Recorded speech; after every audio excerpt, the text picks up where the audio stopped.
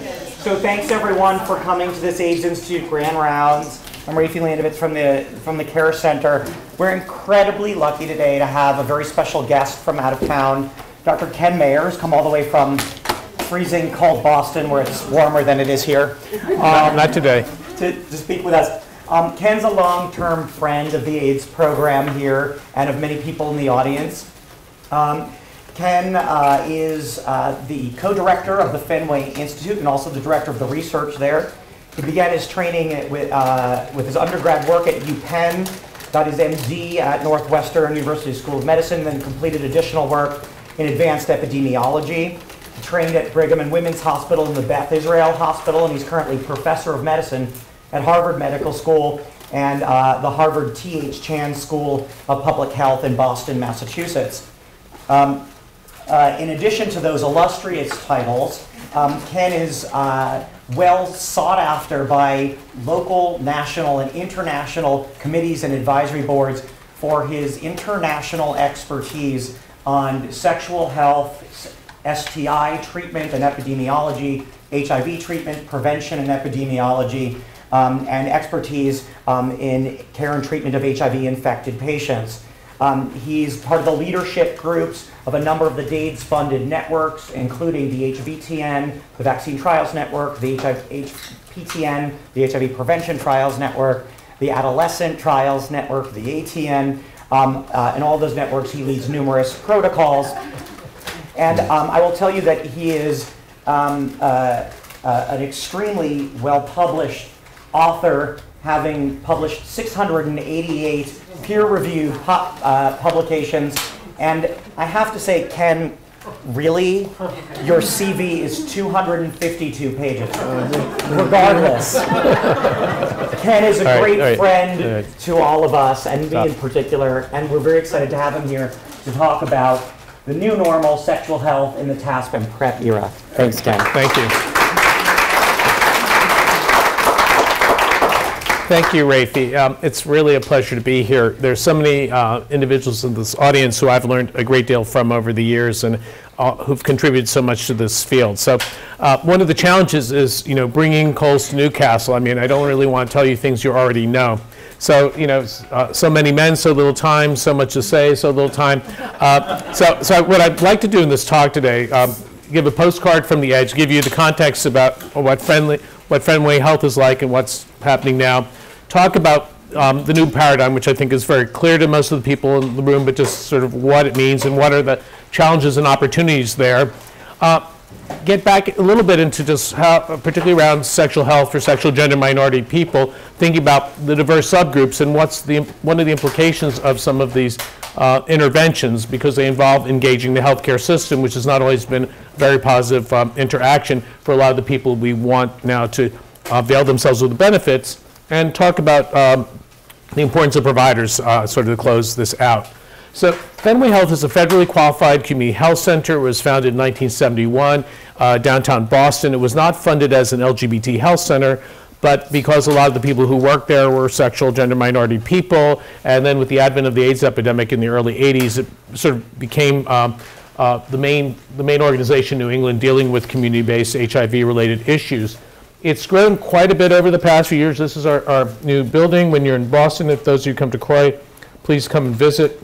Uh, a, lot, a lot of the growth, a lot of the activities really been um, benefited by having some wonderful executive directors. So Steve Boswell, who many of you know, uh, who's a physician but also trained in economics at the Sloan School at MIT, is really responsible for a lot of this, this growth. So at the present time, uh, we ask everybody who comes in as a routine part of clinical care about their sexual orientation, their gender identity. 25,000 people uh, uh, access services. So that means 9,000 people didn't want to disclose that information, at least that intake.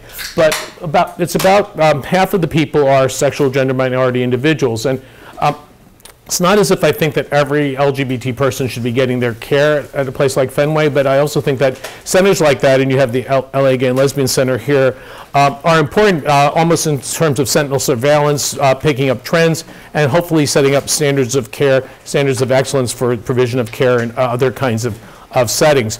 But it gives us a unique vantage point to look at both HIV infected, uninfected individuals, and also to do some case control and other kinds of studies looking at uh, sexual gender minority individuals and other individuals.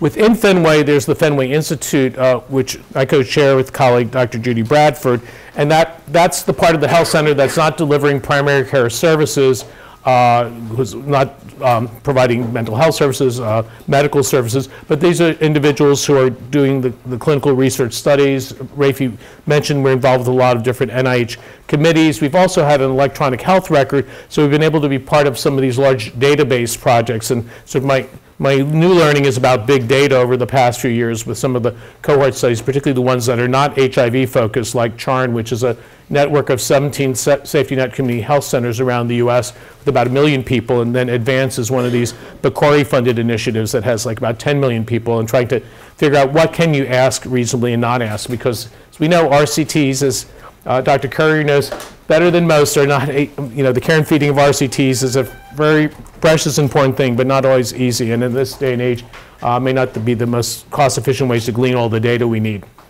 So th the new paradigm. So part one is the issue of, we used to call it treatment as prevention. Now we can unequivocally say it's treatment as treatment. But the, you know, we've had studies like START and Temprano that say as soon as a person knows that they're HIV infected and is ready to initiate treatment, they should begin treatment. Um, we also know from studies like HPTN 052 uh, that treatment is prevention. Now, one of the caveats about HPTN 052, given in the U.S., given the disproportionate number of new infections among men who have sex with men, is it, you know, does treatment as prevention work for men who have sex with men who might have other partners? Uh, uh, does it work in the real world?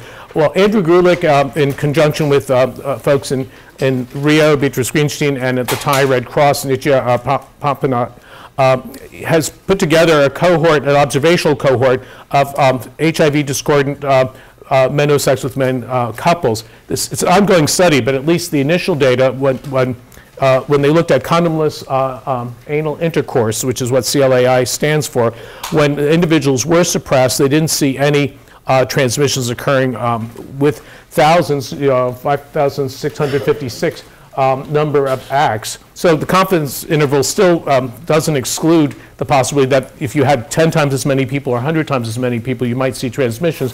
But we certainly can say that uh, whether it's uh, homosexual or heterosexual intercourse, uh, people who are virologically suppressed are extremely rare um, if uh, able to transmit HIV. But the other finding from um, uh, this study is protection from whom. So they looked at uh, people's patterns. These are people who both signed informed consent to go in the study as a discordant couple, but they looked at how many individuals had outside partners in the relationship. almost 40% had an outside partner, this was particularly tr uh, true among the Australians. And then if you looked at any condomless anal intercourse with outside partners, uh, you can see again that um, substantial numbers of individuals have outside partners. So treatment as prevention is, is great if your only partner is the primary partner who's virologically suppressed. But that really sets up the reason why we also have to think about PrEP. And this is just an array of the different studies, uh, the different efficacy trials that, uh, that many of you are familiar with.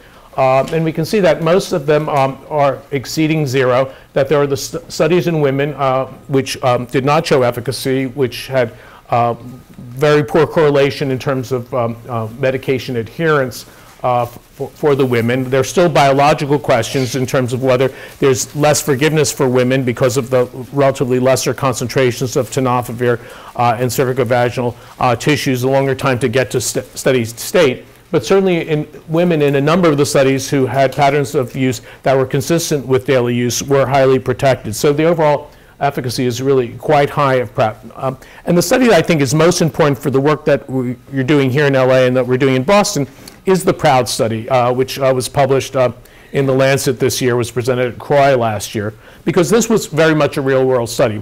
These were men who have sex with men accessing STD services uh, at clinics in England uh, the National Health uh, Service said, fine, you have data from IPREX and some of these other studies that PrEP works, but in the real world, we don't know if it's um, something we want to endorse because it's potentially very expensive. The number needed to treat might be very high. So let's see what happens in the real world. And because you're in the UK and you may be willing to um, uh, be, be randomized to Qs, we'll randomize people to immediate versus uh, deferred access to PrEP. Uh, You'll be given everything else in terms of the panoply of things we have. We'll, we'll diagnose and treat your STDs. If you need to come in for post-exposure prophylaxis, we'll provide it, and about a third of the people came in for PEP. But even in the setting where the people who were in the delayed arm knew that they weren't getting any pr- uh, protective chemoprophylaxis, um, the um, efficacy was 86% overall uh, with intent to treat. And the number needed to treat because the rate of uh, HIV infection was so high in the deferred group, almost 9% per year, was um, you needed to um, offer PrEP to 13 MSM in this setting uh, to prevent one new HIV infection. So clearly, very cost effective in this context. And I think these data really um, are, are uh, some of the more important data recently, I think, that have to inform public health policy. Uh, San Francisco Health Department, Al Liu and Stephanie Cohen uh, had a recent paper published in JAMA Internal Medicine.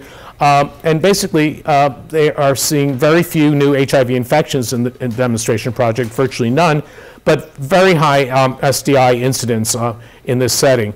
And at Fenway, uh, it's very similar. Uh, we have seen a massive upscale in the number of individuals starting PrEP starting in 2014. The data in 2015 are even, even greater. We're just assembling the, the full year's picture now.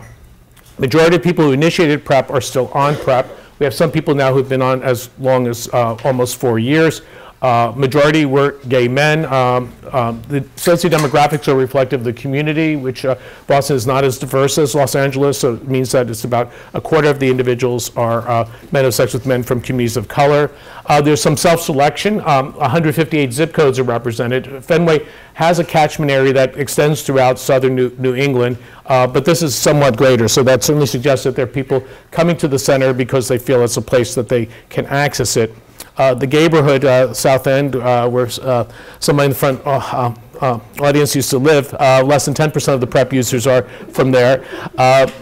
And, um, and because we have health insurance, you know, pretty much everybody has their PrEP paid for. There's also the diffusion of innovation. Um, initially, we were only doing PrEP as a research study. We were one of the two sites for IPREX and one of the three earlier sites for the CDC PrEP safety study. So by this time, we'd been uh, uh, making PrEP available for almost a decade, but uh, uh, primary care providers were very skeptical initially. Now, the vast majority of people who prescribe medications at Fenway um, have prescribed PrEP. Uh, and we think that about a quarter of the HIV uninfected men who have sex with men at Fenway are, are currently on PrEP. Uh, we also have very high local viral suppression rate, and we are seeing a decrease in the number of new HIV infections. But very much like San Francisco, we are seeing um, uh, really a takeoff in the STDs. So you can see at Fenway, the majority of um, syphilis cases have been among men who have sex with men. But if you look at the blue line, in 2000, uh, it was a, a few tens of individuals who were diagnosed with syphilis. And by uh, this past year, even with data just going uh, through uh, October, you can see that we exceeded 200 new cases of syphilis. Uh, but I think the point is, let's see if we can get the. The point is that the curve was going up well before PrEP was available. So you had a massive increase to get well over 100 uh, um, over that first decade. But you can say that you can see here that the inflection point has gone up somewhat more additionally uh, since the age of PrEP. Uh, you can see also among syphilis that it's still um, around half of the individuals are individuals who already are HIV infected. But if you transpose the, the number of people on PrEP um, uh, approaching uh, 50%, so says that we might have 100 cases of, excuse me, about 200 cases of syphilis, 100 in HIV infected, 100 in HIV uninfected, and about half of the HIV uninfected people are using PrEP. So clearly there's a correlation, and I think going forward, uh, it's hard, particularly for, uh, for men sex with men and, and for transgender women, not to think about STD control and uh, PrEP, uh, early treatment, as not as part of a, a package. Similarly, we are seeing uh, uh, the, the finding that the gonorrhea rates are going up and the number of cases that are, um, that are rectal gonorrhea, and this again is only through August, so this is going to be much higher up here. Um, big increase here as well. But similar to Jonathan Volk's um, article from the Kaiser uh, Permanente uh, series in uh, the Bay Area and, and the San Francisco Health Department, we are seeing virtually no incident cases of HIV in these individuals. So they're highly exposed, they're at high risk. Uh, we have to um, think about how we manage their STDs, but we also uh, need to think about how we maintain their adherence. So let's step back a little bit. If we think about why are MSM at increased risk for uh, STDs and HIV, We can attribute individual factors. We can say people have lots of partners, uh, maybe at increased risk for, for, HIV. But we also have to acknowledge that there's a certain biological determinism as well. Um, two really important factors. One is that um, anal intercourse has increased susceptibility. The other is that men who have sex with men are uniquely able to be particularly susceptible to HIV, to acquire it through receptive anal sex, and to transmit HIV to subsequent partners. This becomes particularly important when we think about networks, where once you have a concentration within a, a community, and if it's a marginalized community, and if it's an intersectional community where people may, may be experiencing racism um, as, as well as homophobia, and therefore, um, and if you add to that uh, socioeconomic um, disenfranchisement, it makes it concentrates an epidemic, it limits partner choice, and it really accelerates transmission with, within the population. We also have to think about sexualized venues, uh, bathhouses, and cer certainly the internet, uh, a challenging place to intervene, but nonetheless an important place um, given um, how people meet partners these days one also has to think about a life course approach as well. So if we're going to deal with these issues, uh, to think about the fact of what, what it means to grow up and not um, feel that your identity as it's emerging is being validated um, by societal norms, be it, you know, uh, uh, until recently exclusion from the military, uh, a, a, lack of uh, equal opportunity for marriage, and, and, certainly when we think globally about the epidemic in these populations, criminalization, discrimination are, are major forces as well. So clearly, we, it's very easy to talk about MSM. It's a convenience term. So the slide says, no, we are not twins. So, um, and so um, several people here in, in, the room also have worked in India. I, I continue to work with a group um, in Mumbai called the Humsafar Trust, uh, and this is their cosmology. So they, they have things like uh, Hijra, traditional transgender individuals, but also pool, pool boys and extras in movies, and they think of these as discrete uh, individual identities that people have. But, but, but clearly, um, our, how we use, view the universe is uh, we have to be careful when we use the term MSM because it's really uh, a blanket epidemiologic term.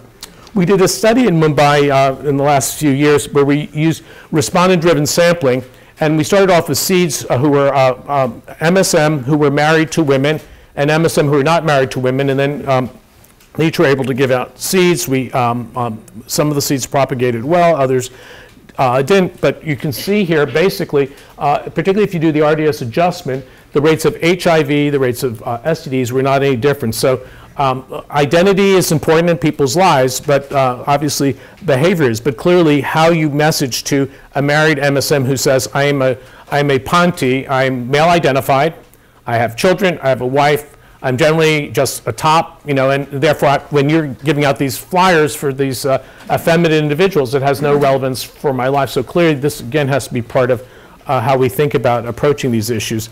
And I alluded to this before. I mean, this life course um, uh, perspective, I think, is extremely important as we think about these issues. And the reason why I, I want to come back to this is because if we're thinking about uh, biomedical interventions, um, how, how people's uh, psychosocial construct uh, uh, informs the way that they engage with, with healthcare or accessing medication is going to be very important.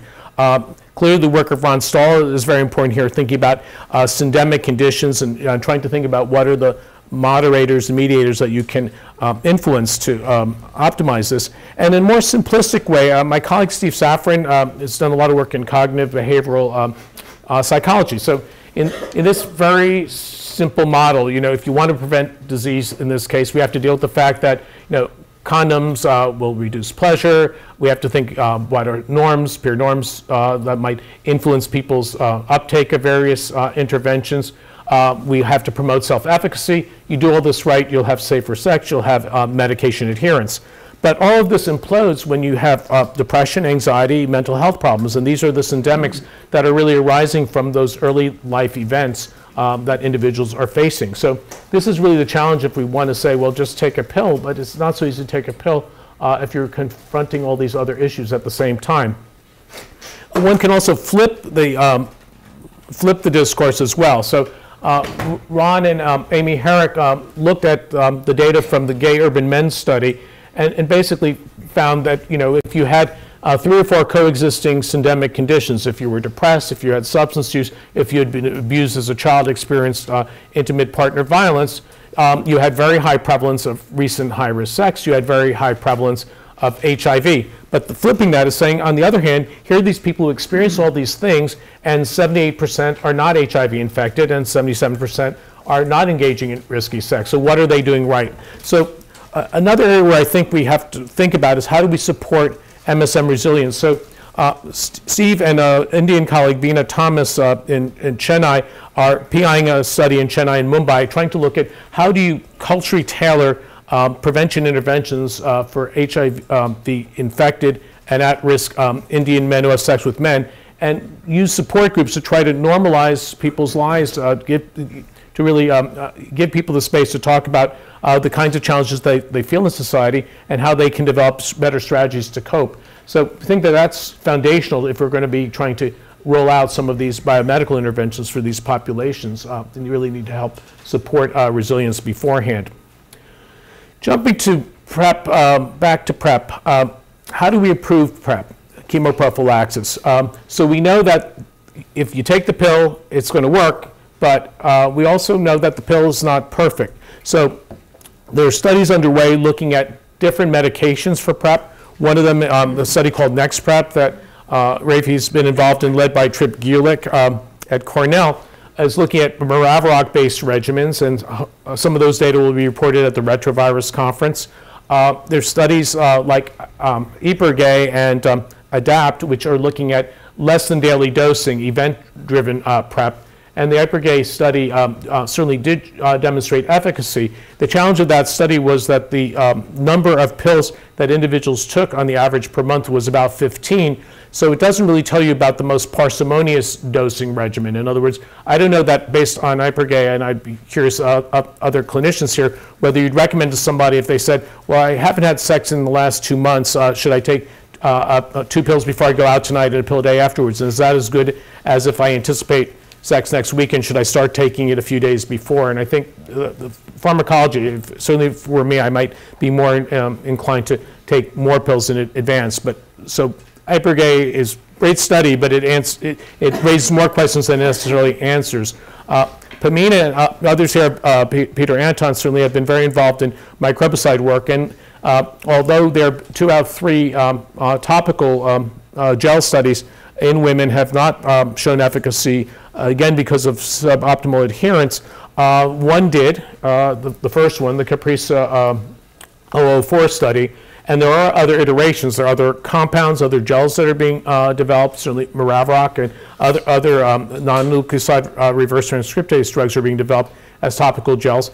And then the other issue is the intravaginal ring. And at the retrovirus conference, uh, we will hear um, the results of the ASPIRE study, MTN-020, and that will be the first big uh, ring study, and uh, that would be very exciting if that offers another um, option for prevention.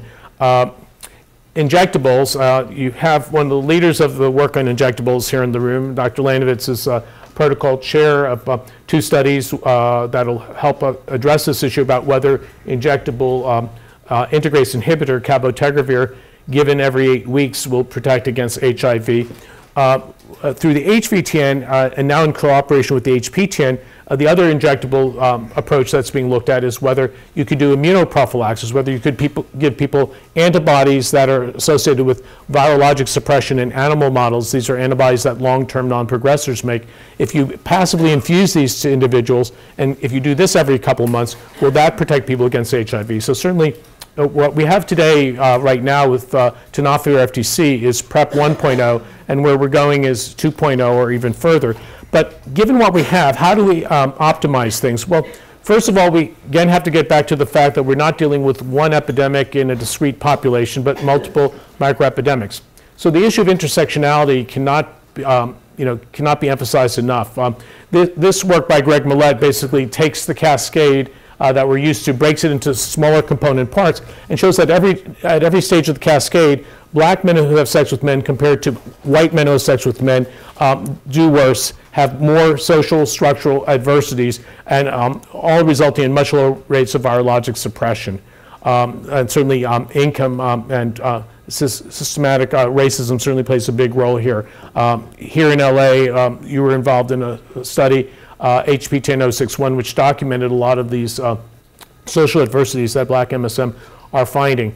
And so there is a study now that is winding down, HPTN 073, which uh, LA was one of uh, three sites along with um, uh, North Carolina and Washington, D.C. And this is looking at the question of whether by um, developing culturally tailored um, care coordination, by having somebody who's more than a peer, uh, essentially a, a case manager who's from the community, working with uh, black men with men when they initiate PrEP, will PrEP uh, uptake be high and will PrEP adherence over long haul be high. And the results of that study will hopefully be presented at the retrovirus con- um, conference coming up.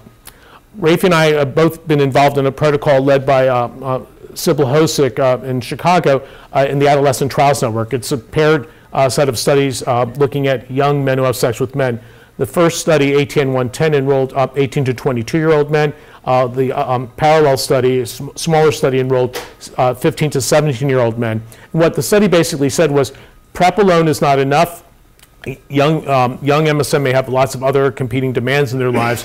Let's take some of the evidence-based interventions of the CDC and let's test the question about whether an individualized intervention, uh, personal cognitive counseling, uh, is better than a group intervention, many men, many voices. Uh, it's, it's not an efficacy trial. Uh, some of the data have been presented and, and the real take-homes are, number one, uh, that adherence was a challenge for the young men, particularly for black MSM over time uh, the adhe- um, adherence attenuated very substantially after the first three months, and the men were seen monthly for the first three months. So one question is, do young people need more contact in order to be able to sustain um, adherence? Uh, the other finding, uh, by medical finding, was uh, that we know that tenofovir can cause decreases in bone mineral density. Um, this has um, been associated with a statistically significant but not clinically significant finding in the studies in adults. So the IPREX study found a little um, bone loss, uh, uh, which tended to normalize if, people uh, stop the medication. Uh, this is also seen in um, a sub-study of partners PrEP study. So it's men, women, uh, uh, heterosexual, homosexual. You can see some bone loss. We know this in people living with HIV, but again, not generally associated with anything clinically significant. However, in the um, ATN 110 study, the concern was that it was uh, because the bone is uh, elaborating uh, much more bone growth uh, during this period of time, uh, even through uh, the 22 years of age. Um, you could see more attenuation or more bone loss potentially uh, with um, exposure to tenofovir, and we did see that. Again, was not associated with any clinically significant findings, though the concern was that because there was uh, relatively modest levels of adherence, that if you really got an intervention that was um, very successful in making youth highly adherent, could you see more significant bone loss? So we're hoping in future uh, studies through, um, through um, uh, NIH-funded networks to be able to answer some of these questions. So given what we have today, tenofovir FTC, what can we do to optimize uh, PrEP adherence? So one of the seminal studies was the work by Lester and colleagues uh, in Western Kenya, where they found that uh, you know, simple text messaging once a week was associated with a decrease um, in um, uh, viral load, was associated with virologic suppression. So just using electronic technology to have contact with uh, people at least living with HIV made sense. Many people have investigated the use of the WISE pill, so it's a cell phone-like device. Um, it, uh, the pill box, you know when the pill box is open, and you can give prompts. And so, uh, Life Steps was a cognitive behavioral um, uh, therapy uh, intervention with eight, uh, eight sessions, excuse me, four sessions uh, developed by Steve Safren for people living with HIV and was associated with improved adherence. So Steve and I tried to adapt this for uh, PrEP use, inclu- including daily SMS uh, prompts to check on people's patterns of behavior was, was highly acceptable. And uh, at the end of the day, in the intervention group, at six months, um, 84% had drug levels consistent with daily uh, medication use. So, hoping to scale that up into a more formal RCT. Uh, Rivet Amico's developed Next Step Counseling, which is a very interactive uh, uh, way of um, engaging people in problem solving. And um, um, in the IPREX open label study, uh, they used an electronic um, diary in San Francisco and Chicago, and this was also associated with improvements in adherence. And very exciting work going on here um, at UCLA, led, led by Rafi Landovitz, is giving people feedback on drug levels if the adherence isn't, uh, isn't so good. Though I think many of us are finding that the people who self-select to take PrEP, actually the adherence is, is pretty good, and in, you know, in the U.S. context. Again, um, most of the early adapters are highly self-empowered people, educated. They come to the trial once it's open label. They know they're getting PrEP. They feel motivated to take, take PrEP. So we have to think about how robust some of these interventions may be for people who may not be as uh, motivated to start PrEP. Uh, Susan Buchbinder uh, Javier Lama have been developing an app, uh, SexPro, uh, to um, allow people to um, input data, have a personal diary, and see whether that's going to help people engage in PrEP.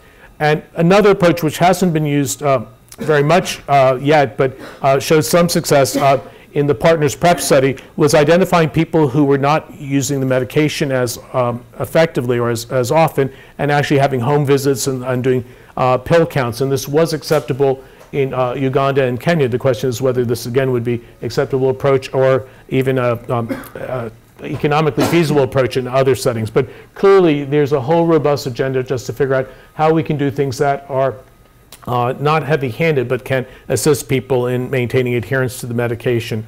I just want to highlight there are a couple other populations where we um, have not really done enough research. There's all kinds of biases on study sections, but I know people here have had some interest in these areas. Um, we know HIV prevalence among um, MSM sex workers is extremely high. Um, I have a colleague uh, who's at Brown University, Omar Galarraga, who's uh, a behavioral economist, and he's very interested in looking at um, the role of various kinds of uh, conditioning with um, modest cash transfers, um, again, to see if this can motivate people to test, to engage in care, those who are infected to uh, become virologically suppressed, and potentially to um, uh, whether they'll access PrEP. And he's been working with uh, this uh, Mexico City government um, that runs a big uh, clinic in downtown Mexico for uh, male and female sex workers. And they have some interest because they have uh, protocols for uh, uh, social welfare support in other ways with other behavioral economic approaches. So this doesn't seem so um, incongruent in, in their, their settings. So stay tuned for that. And this is just a plug because I know that you have a lot of bathhouses here in LA. So this is one of my more frustrating parts of, of research. Uh, uh, in Boston, basically zoned out their bathhouses. Uh, they, they never closed them down, but they um, made the, um, the code, the, the fire code or whatever so onerous that the bathhouse owner said, ah, we're not going to make enough money here, so they, they pulled out. Uh, Providence, uh, uh, those of you who know the Northeast, is uh, the, Providence has a lovely Brown University on College Hill and, and RISD, but also has a very gritty side. And off of the highway, there's actually a red light district that's uh, fairly unique, where there's strip club, um, bookstore, and in the middle of that is, is a, a very poorly maintained but very large uh, bathhouse, the, the, largest in New England. And the owners allowed us to uh, go in and start implementing uh, various kinds of testing. You can see here the, uh, the, HIV prevalence was certainly higher than any voluntary counseling site we saw. Uh, hepatitis C prevalence, syphilis. You know, so we definitely were able to pick up STDs. We actually asked uh, the patrons also um, what their behaviors were um, unprotected anal, unprotected uh, oral um, uh, sex um, back then. And we saw um, that the prevalences of the, of, of at-risk behaviors were as high, but we also found a disjunction that the majority of the people who were engaging in behaviors that could uh, put them at risk for HIV or STDs didn't think they were very risky at all. So it seemed like a great place for um, intervention, but study sections have not uh, seen their, their way clear. And I know from other individuals like William Woods, um, San Francisco. This has always been a challenge, but I still think it's an important place because uh, uh, there's many people in this room who are doing work on the internet, but I find it very challenging to do interventions. It's a great place to uh, do education, and it's a great place to do surveys, as I'll show you, but, but actually being able to reach out, whereas when you have the physical body in the bathhouse, there's an awful lot you could do. So again, I think we have to think creatively. Um, uh, an area that's uh, very well known to uh, Dr. Klausner and Dr. Clark uh, and Dr. Coates is uh, Lima. And um, the other the other group were, uh, you know, in the interest of time, I'm not going to be able to do justice about all the unique factors, but we certainly can't ignore the fact that we have to culturally tailor PrEP for transgender women. You can see the, um, the data from Impact of the large uh, um, NGO um, there that in, for all, you know, whether you look at um, uh, syphilis, whether you look at HIV, uh, the rates are, uh, the health disparities are even higher for transgender women compared to MSM in the, these settings. So just trying to dial back about um, PrEP in the US. Uh, so how many people should be on PrEP in the US? And the CDC actually came out with revised numbers that surprised some people as being fairly high. Uh, the most challenging population is um, the one that, um, the third bullet, 0.4% of heterosexual adults, because that, that translates to 624,000 individuals. Very hard population because a lot of those individuals may need PrEP because of partners who have not disclosed their behaviors. Um, um, a study done in the HIV Prevention Trials Network of uh, uh, women, primarily women of color, um, the ISIS study, HPTN 064, uh, found 0.5% HIV prevalence um, uh, doing testing on 2,000 women up and down uh, the East Coast. Um, and so you say prevalence is fairly low, but, but, but, the, but the bottom line was because if, you, if, your if your demographic is just saying, we'll go into this community, it has high HIV, and we'll, you know, we'll offer PrEP to everyone, that's, that's not going to work. So I, I really think for those of you who are uh, doing research uh, uh, in underserved populations, particularly uh, communities of color. This is, this is the hardest nut to crack about how to get PrEP um, uh, um, right know, for population. Because uh, certainly for men who have sex with men, it's a matter of getting um, the individuals to acknowledge their risk or getting the clinicians to be able to create a welcoming environment to um, discuss um, the issues. But certainly, um, with the latest figures from um, um, Gilead, uh, it's certainly uh, it's still at tens of thousands of individuals. So if, we, if there are a million people should be on PrEP, we clearly have a long way to go. So Manhunt is a, a social networking site. It's based in Cambridge, Massachusetts. Uh, so I've uh, worked with them on a number of different surveys over the years. So we had two waves of surveys in August 2013 and January 2014, uh, the national uh, samples of men who have sex with men. And basically you can see that um, um the, the PrEP uptake, at least at that point, had been, had been fairly limited. Um, and um, even the PrEP knowledge um, had gone up over the last couple of years, but not that high. Uh, again, I think we're hitting an inflection point, and it would certainly be interested in doing a new survey at some point in the near future.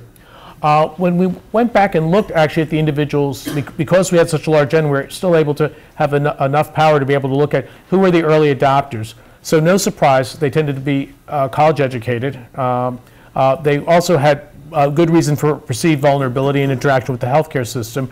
They had had an STI, they had used PEP. But one of the other um, um, issues that came out independently in the multivariable analysis was that, they, um, that those who were comfortable talking with their provider about MSM sex were more likely to use PrEP. Katie Oldenburg, uh, who's a graduate student at Harvard School of Public Health, who's collaborating with uh, Jesse Clark as well as many other folks, um, had very interesting uh, social ecological idea. Uh, with Mark Hatzenbuehler at Columbia University, they went back, they said, well, we have enough people in different states. The Human Rights Campaign actually um, has an index of tolerance of like, you know, which states are more affirmative or um, more repressive around LGBT issues. You know, which states have marriage equality, have partner, um, benefits. And they, they did the map of the US, and, and not surprisingly, uh, Mississippi was at one end, Massachusetts, California were at, at, the other end of the spectrum. And they found that the people who were in the states that were not supportive um, or that were supportive were more likely to have used PrEP, be out to their providers, but less likely to engage in condomless sex. And the flip side, that if you're in a very red state, you're, um, it's very risky. what I so, so again, PrEP is increasing over, over, the, uh, over the next um, few quarters. You can see um, this kind of increase. I know, sorry, why, why I'm doing this. Um, and this is just uh, data provided by Gilead now of the number of cities where they provided uh, drug for demonstration projects. So certainly you can see sort of the diffusion of innovation uh, um, across the country, and certainly not everything is only on the coast. But this is where uh, come to the last part of the talk, which is uh, who's going to provide PrEP. So I'm working with Doug Krakower, uh, who's a, a, young infectious disease uh, physician on his K. It's very much about doctor-provider communication. He coined the term the purview paradox, which is basically this, that infectious disease specialists say, you know, I'm used to taking care of people with HIV. I don't want to spend a lot of time counseling high-risk uninfected people. And generalists are saying, well, you know, um, I'm not that comfortable um, using these drugs. I'm not, I don't really have a lot of time to talk to my patients about sex. So uh, nobody's really taking on uh, the responsibility. And you superimpose that with the fact that there's a long history of bias in healthcare. So if um, uh, the key populations of individuals who benefit from PrEP are sexual gender minority individuals or racial ethnic minority individuals, um, uh, there are a number of um, um, studies that show that consumers, particularly for LGBT people, have experienced a good deal of um, uh, disrespect and discomfort engaging the healthcare providers. Um, and this sort of gets into a little bit of my soapbox. Uh, a, a, colleague of mine who Tom Coates uh, know, knows well is uh, Harvey Makadon, who has a grant from uh, the um, Health Resource Service Administration to provide training to primary care providers on uh, sexual gender minority health. And the website's uh, lgbthealth.org. But, but basically, you know, it's an intrinsic human right. Um, you know, so on one hand, I'd like to say that, you know, because of PrEP and because of sexual health, uh, you know, asking about sexual health should be a fifth vital sign. Uh, on the on the other hand, you have people um, really refraining from that. The providers being uh, uncomfortable, and many of the clients um, having uh, memories of bad experiences when they were younger. So this is something that we really have to remedy if we're going to be able to scale this this up. Uh, just even in a liberal area like New England, uh, in 20, late, late 2013, early 2014, uh, Doug Krakower um, um, uh, surveyed all the um, people who went to New England AIDS Education Training Center programs, and you can see more red than green. In other words, more perceived barriers uh, than acceptance. More recently, um, we just published this in uh, the journal Clinical Infectious Diseases. Uh, there's a list serve for epidemics that go around the country. So it had um, about 800 infectious disease doctors, about 415 of them responded to our survey. And in this one, we found that the majority of uh, providers, almost all, said they were comfortable st- about starting HAART independent of a CD4 count. But then we asked different hypotheticals of what might make you wait. And we found the one that stood out was that two thirds said they'd defer HAART if they had a patient who was an active substance user. And then we went back and said, well, we also asked them about PrEP, and you can see uh, that about 31% had prescribed PrEP at this point in time. About two thirds um, thought that it was part of their uh, responsibility, could consider it as part of clinical care. But we again found that those who were feeling that they would defer HAART were also less likely to want to prescribe PrEP. So we do have a long ways to go in terms of trying to work with our providers because these are biomedical interventions. Um, I'm interested in Dr. Klausner's um, working on a piece about um, PrEP is similar to aspirin, but I don't think we're quite there yet at the present time. So, uh, so just in trying to summarize, um, it's all about, first of all, trying to increase HIV testing uh, because you have to know your serostatus. There are many people in this room who've really done some remarkably creative work in that regard. Once you, once you test, then it's the triage, and you know, it, um, if you test positive, there's all these steps uh, go through the cascade to get to the point of virologic suppression. Um, if you test negative, doesn't mean everybody should be on PrEP, but you, everybody deserves risk assessment, adherence counseling if, um, uh, if they go on PrEP. So it still is part of a package. And we're not going to get anywhere if we don't address the concomitant uh, uh, social and structural issues that really um, impede people's willingness to engage in care, access PrEP, or the reasons why they may be engaging in behaviors that put themselves at risk for HIV and STDs in the first place. So with that, I'd like to stop. Thank you for your attention, and I think there's a little time for some discussion.